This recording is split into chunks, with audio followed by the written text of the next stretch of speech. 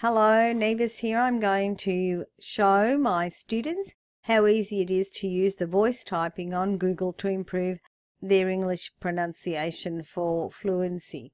So here I am in my Google Documents.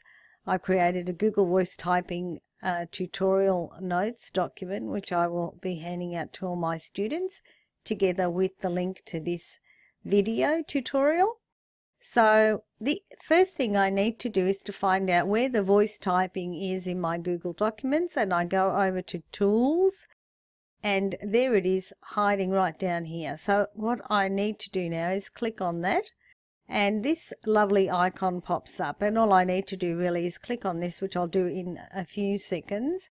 Um, what I want to show first of all are a few other things. First when I hover over with my mouse over the microphone icon the question mark symbol shows up. If I click on that, it would actually open up a drop down window that gives me all the assistance I may need to look up other things on how to use this wonderful tool.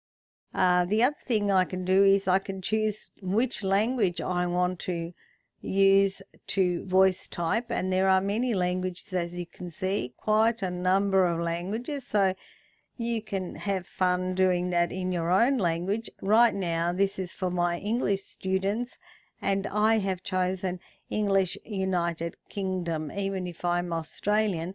I've chosen United Kingdom just so to show you that it can work even with an Australian. Um, and it may show up some errors, which is what I'm hoping it will do as I go down. So the tutorial that I've prepared here on the Google Docs goes through all the motions that I'm going to show you now. First of all, I'd just like to give a quick special thanks to Jim Baker, who um, took the time to insist on teaching me how this worked and uh, showed me how it could help my students. That's why I'm preparing this video tutorial. So, now that's what I prepared earlier on and that's what I tested. So we'll just go down now and see how it actually works. So here I am on a page where it's blank. The voice typing is going to show up here. I'm going to put my mouse pointer into that box and what I want to say is this phrase here these are phrases for practice. Now I've added my own, but I'm hoping my students will add the ones that they know they're having problems with and then use the voice typing area over here to see what the voice typing will actually show up. And here in this column, repeat with a question mark, I would just like my students to write down how many times they had to repeat it in order for that to come up correctly and it will help them understand uh, how they're improving their own pronunciation. So let's try this wonderful voice assistant and I'm going to click to speak.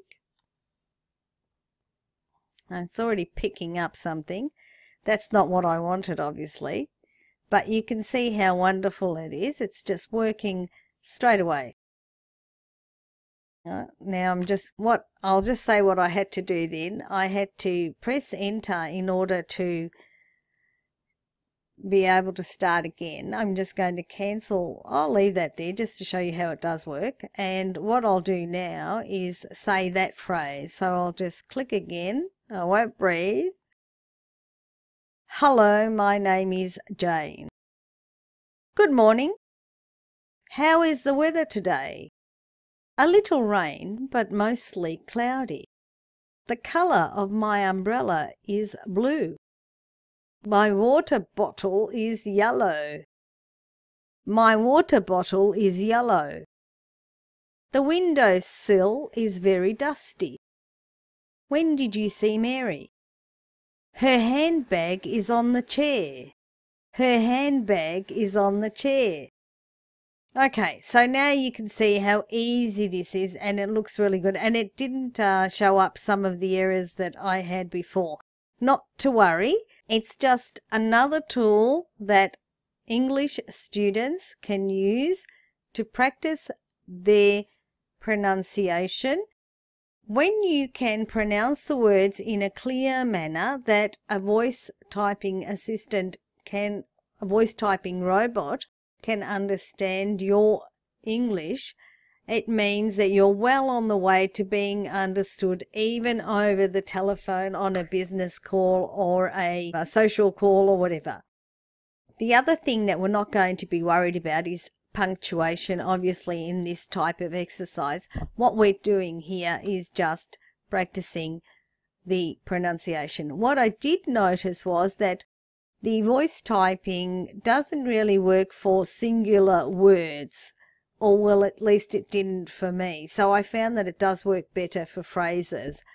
But if you do insist on using it for words, you just may have to practice a little bit harder.